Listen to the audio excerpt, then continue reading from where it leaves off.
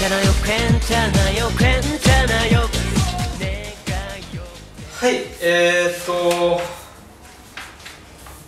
はい皆さんあのー文字が終わってじゃあ韓国人が会った時にその挨拶どんな挨拶がするか簡単に皆さん説明して読んでみましたえー、第一課この「敵の覚悟」という本が、まあ、もちろんあればいいんですけど、まあ、なければ えーとまあ、手軽に軽い気持ちで、まあ、動画見ながらでもいいようにあの字幕とか、えーしっかり、えー皆さんに、えっと、提供するので、えーちゃんと活用してください。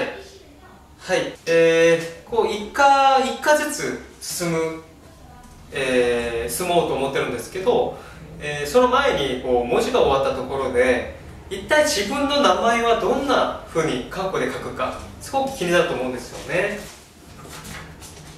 じゃあ、えーまずはどうでしょうか？日本人の名前は韓国でどんな風に書くか。えー誰にしましょうか、えー私が一番好きな日本の女優さん。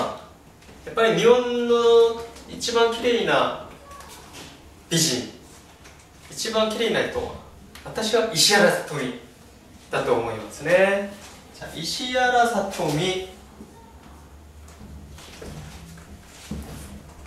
石原さとみ 저도요. じゃあ、チュリさんは好きな日本人の有名人誰がいるんですか 스타와 케이코. 北川景子でも結婚しちゃいましたね だいぶ 아, 울고 싶어. だから北川景子さんはなしにしましょう 내 거였는데.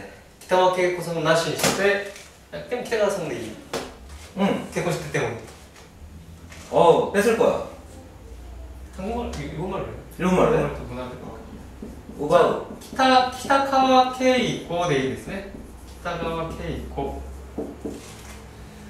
大悟さんが羨ましいですよねはいじゃあこれは韓国でどんなふうに書くか そのまま皆さんアルファベットを韓国の表記を思い出してください。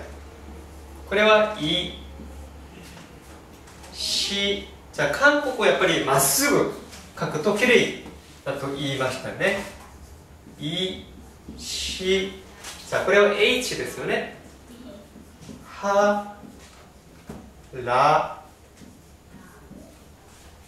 さとみさとみな形になります。じゃあ日本語韓国語皆さん見て、えーちょっとマッチしますか？これを自分がイメージする日本語韓国でちゃんと、えー書けるか。大丈夫ですかね？じゃあ次チュリさんが好きな北川景子さん。これはどうでしょう？かきたかは珍しく結音が連続ついてますね。けいこ。になりますね。北川景子。になります。じゃあただここでちょっと若干韓国の日本語の表記法というのがありましてこの文頭に出る結音というのはちょっと発音が濁ってしまうというふうに聞こえる。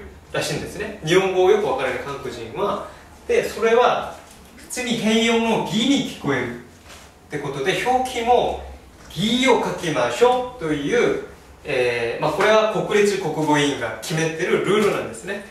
でこれは「義」になります。書くときは。北川景子というふうに書きます。じゃあはい今もう日本で3年間頑張ってる、えー、チョナガン先生。私の私は本名本名皆さん知ってますか？私はえー、さあ本文でこう書きます。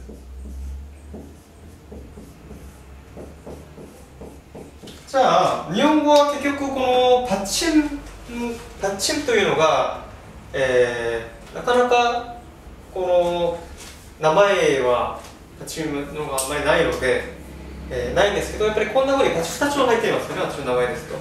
じゃあこれはパチョンヒョ。パチョンヒョになります。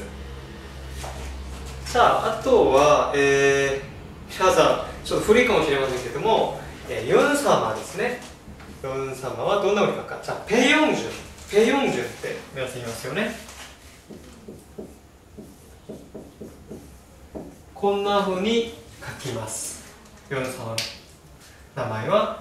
じゃあこれはね皆さん、えー、カタカナと「ペー」って書くんですけど「ペー」ではなく実は平音の B の発音ペヨンジュンペヨンジュン変に力を入れてペヨンジュンって言うんじゃなくてペヨンジュンって言います。